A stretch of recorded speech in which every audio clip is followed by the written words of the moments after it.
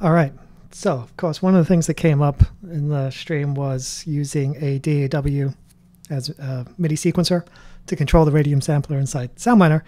And I figured out how to do it. It was pretty easy. So, you want to call up Audio MIDI Setup. You want to go to MIDI Studio. And the IAC driver by default is disabled. So that was the problem. That's how it normally is. So you double click on it, you put it online. And then because I'm using Reaper, for some reason you've got to enable on your thing. So you go down to MIDI devices. My input is going to be my um, MIDI keyboard. So USB MIDI is there. And output, I need to needed to enable the IAC driver as an output. So that's done. And then you just create a track. It's going to get its input from the USB MIDI. You want to uh, record enable, a record monitor, go to routing, change it to the IAC driver.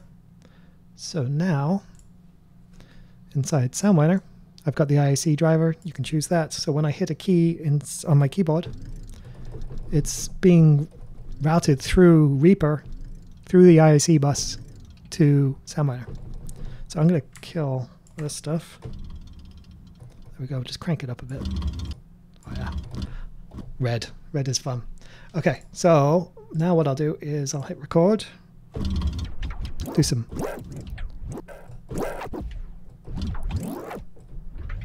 pitch bends. I'll save it. And now of course I can play it back. I can rewrite. So I'm like, yeah, that was pretty cool. Although, let's get rid of that. Perfect. Okay. So now I want, I want to record it. So I would hit record, swap back, hit play. Done. There it is. Ta-da!